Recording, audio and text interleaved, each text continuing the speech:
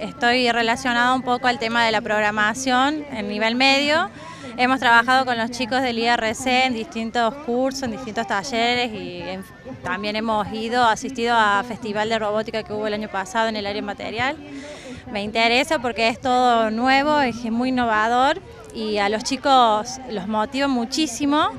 y de esa forma, digamos, poder enseñarle programación e incentivarlos y al pensamiento computacional, que es la tendencia, digamos, eh, es algo que, yo estoy de acuerdo y que me parece que tenemos que aprovechar que tenemos la universidad tan cerca con gente tan capaz y, y predispuesta a mostrar sus innovaciones. Natalia, ¿qué opinas de, esta expo que la universidad ha organizado aquí en el Centro Cívico?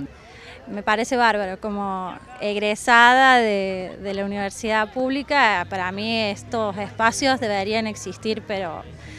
bien, bien a menudo, para que toda la población, toda la, ciudad, todo el departamento de Río Cuarto y la zona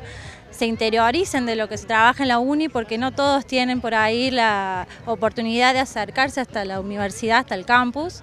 y así se promueve y se, se apoya, más que nada lograr el apoyo de la universidad pública para todos. Y eh, lo que más me gustó de que hayan elegido este lugar es que hay muchas familias y hay un público muy heterogéneo, muchos niños, muchos padres,